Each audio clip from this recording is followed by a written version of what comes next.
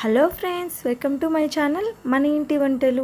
నేను మీ సుధాను. ఈరోజు మనం చూడబోతున్నాం పచ్చి కొబ్బరితో అన్నం ఎలా చేసుకోవాలన్నది. ఈ వీడియోలో తెలుసుకోబోతున్నామండి.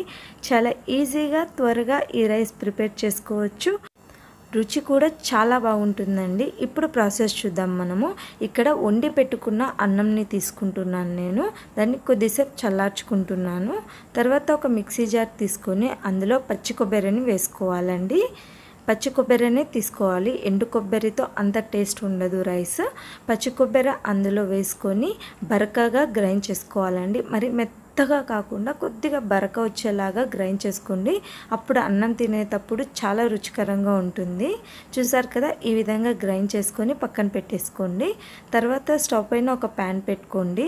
అందులో మూడు టేబుల్ స్పూన్ల నెయ్యిని యాడ్ చేసుకుంటున్నాను. మీరు ఈ ప్రాసెస్ నూనెతో కూడా చేసుకోవచ్చండి. లేదా బటర్ ఉన్న బటర్ కూడా యాడ్ చేసుకోవచ్చు. ఇందులో వన్ టేబుల్ స్పూన్ ఆవాలు వన్ టేబుల్ స్పూన్ మినప్పప్పు వన్ టేబుల్ స్పూన్ శనగపప్పు రెండు టేబుల్ స్పూన్ల శనక్కాయ పప్పులు ఒక ఎండు మిరపకాయ వేసుకొని కొద్దిగా కరివేపాకు కూడా వేసుకొని ఫ్రై చేసుకోవాలి. వీటన్నిటిని లైట్గా కలర్ చేంజ్ అయ్యేంత వరకు ఈ విధంగా ఫ్రై చేసుకోవాలి. ఇందులోనే నాలుగైదు పచ్చిమిరపకాయలను కూడా వేసుకొని ఫ్రై చేసుకోండి. లాస్ట్లో నేను ఇక్కడ ఐదారు కాజును యాడ్ చేస్తున్నానండి జీడిపప్పును.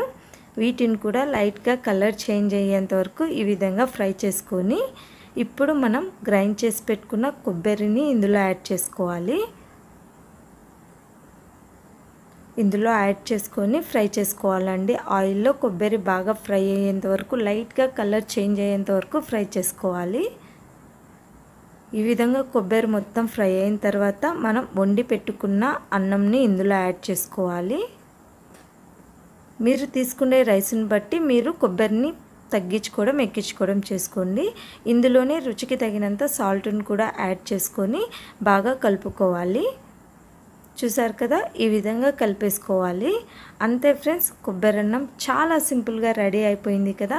ఇది లంచ్ బాక్సెస్కి చేసుకోవచ్చు. దసరా టైంలో అయితే అమ్మవారికి నైవేద్యంగా కూడా ఈ అన్నంని పెడుతూ ఉంటారండి. మీరు మీ ఇంట్లో ట్రై చేయండి ఫ్రెండ్స్. మీకు ఎలా వచ్చిందన్నది కామెంట్ సెక్షన్లో చెప్పండి. ఇలాంటి మోర్ ఇంట్రెస్టింగ్ వీడియోస్ కోసం నా ఛానల్ని సబ్స్క్రైబ్ చేసుకోండి.